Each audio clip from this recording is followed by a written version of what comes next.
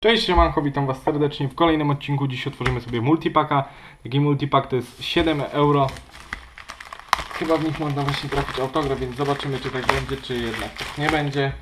Fajnie by było cokolwiek tu trafić. Najpierw polecimy z base z saszetkami.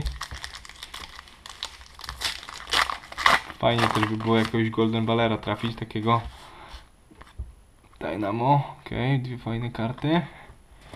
Jorginho i tutaj bazóweczki. Isak, Richarlison, Douglas Lewis i Egdal.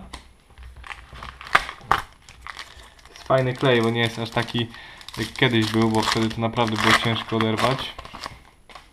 Kodzik oczywiście dla Was, a my trafiamy znowu trofeum i Game Changera Greya. To wszystko obrócone.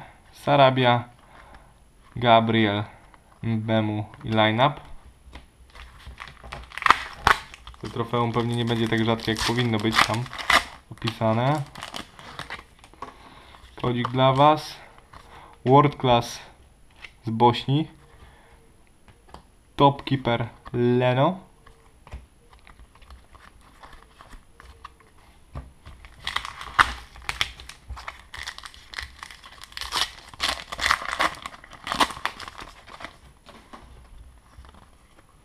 Kodzik.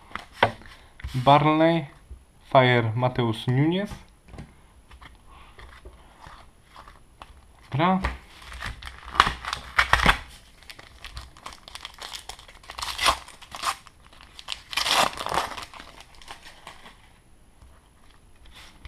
Shea, Cook, line-up jakiś, jedna karta specjalna. Erliel Ace i to były chyba te rzadkie. Tak, jedna na 20 saszetek, więc mega spoko i też ładnie wygląda nawet. Spoko i teraz dwie te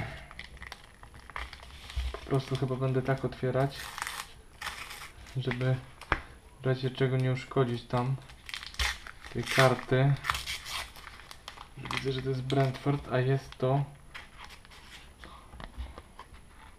Signature Style, ale fajnie, patrzcie.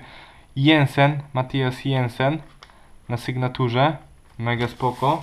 Zaczynamy z grubej rury. A druga, co to będzie, co to będzie? Tottenham. Jest to... A, Limited Edition Hyung Min Son, więc mega fajnie. Czyli sygnatura i Son wpada nam Zobaczymy, co będzie w następnych multipakach. Fajnie, jakby coś padło. Ja Wam serdecznie dziękuję. Do usłyszenia, do zobaczenia. Trzymajcie się. Pamiętajcie o subskrypcji, łapce w górę i komentarzu. I zapraszam Was na grupę na Facebooku. Siemaneczko. Cześć.